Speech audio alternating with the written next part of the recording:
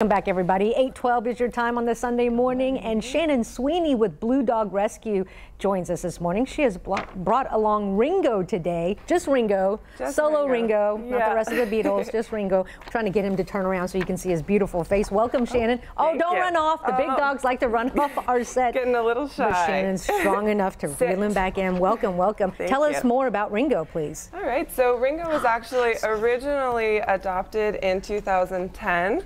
Um, Um, unfortunately, he came back to us last oh. month when his owner passed away. Oh. So we're hoping that lightning is going to strike twice for this week. Yes, guy. and he's he's very very sweet. Yeah, he's and a little food motivated. Gentle, correct? yeah. We're on a little bit of a diet right now, getting back That's to a healthy okay. weight. But yep.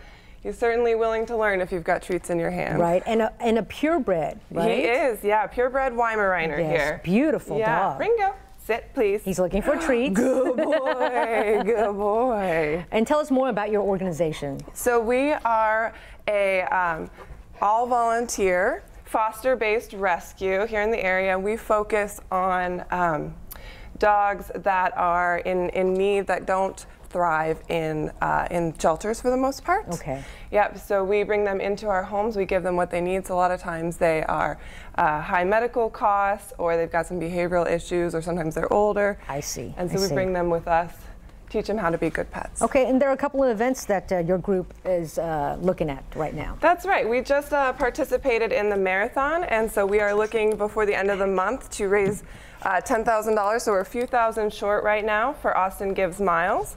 And then starting on March 1st, we'll be doing Amplify Austin as right, well. Right, right, right. And so tell us more about the miles.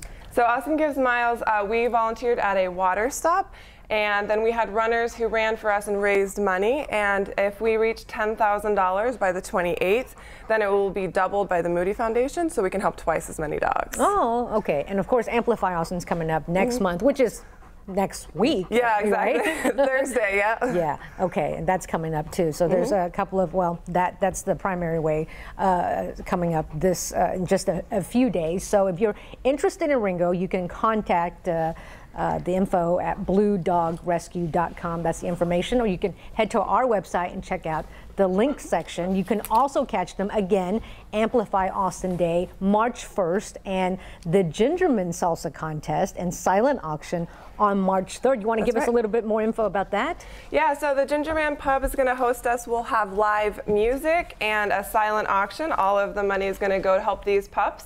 Um, and if you happen to be a salsa connoisseur, you can also participate in the salsa competition and uh, could win first prize. Okay, win-win. How about that? And of course, you can always check out other dogs and cats looking for a good home by logging on to the pet section of kvue.com. Oh, look at that face. All right, last look at Ringo.